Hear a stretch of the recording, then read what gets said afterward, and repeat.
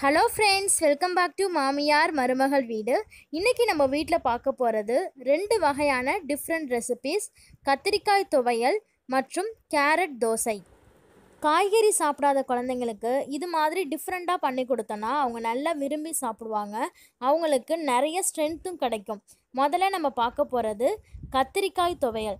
கத்திரிக்காய் துவையல் செய்ய தேவையான பொருட்கள் கத்திரிக்காய் பெருங்காயத்தூள் புளி பச்சை மிளகாய் கடலைப்பருப்பு மற்றும் பூண்டு. இப்போது கத்திரிக்காய் துவையல் பண்ணுறதுக்கு ஒரு பேனில் எண்ணெய் போட்டுக்கோங்க. எண்ணெய் சூடானோன்னே கொஞ்சமாக கடலைப்பருப்பு சீரகம் இதை நல்லா வறுத்து எடுத்துக்கோங்க. பொன்னிறமாக ஆனோன்னே இதை ஒரு பிளேட்டுக்கு மாற்றிக்கோங்க அதே பேனில் நீங்கள் எடுத்து வச்சுருக்க கத்திரிக்காவை சின்ன சின்னதாக நறுக்கி நல்லா வதக்கிக்கோங்க ஃப்ரெண்ட்ஸ் இது நல்லா வதங்கட்டும். கத்திரிக்காய் நல்லா வதங்கணும். இந்த ஸ்டேஜில் பூண்டு சேர்த்துக்கலாம். இந்த காய்கறி எல்லாமே நல்லா உங்களுக்கு சுண்டி வரணும். பச்சை வாசனை போனால் தான் இந்த சட்னி ரொம்ப டேஸ்ட்டாக இருக்கும். இப்போ இதை வந்து ஒரு பிளேட்டுக்கு மாற்றிக்கோங்க கொஞ்சமாக புளி சேர்த்துட்டு உங்கள் தேவைக்கேற்ப உப்பு சேர்த்துக்கலாம். இது வந்து நல்லா ஆறணும் ஃப்ரெண்ட்ஸ் நல்லா ஆறினதுக்கு அப்புறமா இதை ஒரு மிக்ஸி ஜாருக்கு மாற்றிட்டு உங்கள் தேவைக்கேற்ப தண்ணி சேர்த்துக்கோங்க. உங்களுக்கு சட்னி மாதிரி வேணும் அப்படின்னா கொஞ்சம் நிறைய தண்ணி சேர்த்துக்கலாம். இன்றைக்கி நாங்கள் துவையல் மாதிரி அரைச்சிருக்கோம். அவ்வளோதான் ஃப்ரெண்ட்ஸ் கொஞ்சமாக தண்ணீர் சேர்த்து நமக்கு கத்திரிக்காய் துவையல் ரொம்ப அருமையாக ரெடி ஆகிடுச்சு அடுத்ததாக நம்ம பார்க்க போகிறது கேரட் தோசை. கேரட் தோசை செய்ய தேவையான பொருள் சீரகம் பெருங்காயத்தூள் தோல் சீவிட்டு சின்ன சின்னதாக நறுக்கி வச்சுருக்கோம் கேரட்டை. இப்போ கேரட்டை ஒரு மிக்ஸி ஜாரில் போட்டு கொஞ்சமாக தண்ணீர் சேர்த்து நல்லா நைஸாக அரைச்சிக்கோங்க.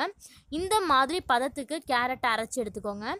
இப்போது நம்ம எடுத்து வச்சுருக்க தோசை மாவில் அரைச்சி வச்ச கேரட்டை அதில் ஊற்றிக்கோங்க பாருங்கள் பார்க்க எவ்வளோ கலர்ஃபுல்லாக இருக்குது ஒயிட்டு ஆரஞ்ச் இப்போது கேரட்டை போட்டதுக்கப்புறமா கொஞ்சமாக சீரகத்தூள்.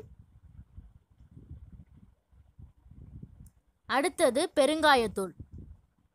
பெருங்காயத்தூள் வந்து டைஜஸ்டிவ் ஃபுட்டு அதனால் அது சேர்த்துருக்கோம். இப்போ எந்த கட்டியுமே இருக்காமல் இந்த தோசை மாவை நல்லா கிளறி விடுங்க. இந்த கலர் ரொம்ப சூப்பராக இருக்கும். ஆரஞ்சு கலராக இருக்கும் தோசையே. பார்க்க ரொம்ப கலர்ஃபுல்லாக இருக்கும் ஃப்ரெண்ட்ஸ் இப்போ நமக்கு தோசை மாவு ரெடி ஆயிடுச்சு. இது மாதிரி எந்த கட்டியும் இல்லாமல் கிளறிக்கோங்க.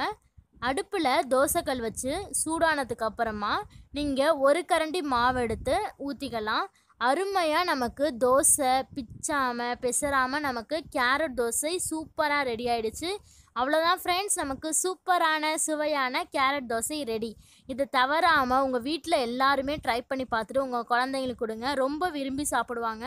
ரொம்ப ஈஸியான இன்க்ரீடியன்ட் தான். அருமையாக டேஸ்ட் இருக்கும். ஓகே ஃப்ரெண்ட்ஸ் இன்னொரு வீடியோவோட உங்களை நாங்கள் சந்திக்கிறோம். அது வரைக்கும் bye take care thank you for வாட்சிங்